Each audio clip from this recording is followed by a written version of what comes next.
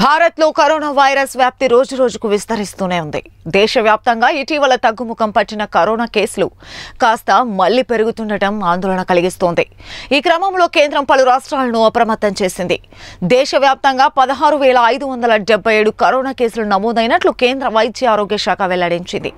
తాజాగా నమోదైన కేసులతో కలిపి దేశంలో కరోనా వైరస్ కేసుల సంఖ్య ఒక కోటి పది లక్షల అరవై మూడు వేల నాలుగు వందల తొంభై ఒకటికి చేరిందని ప్రకటించింది.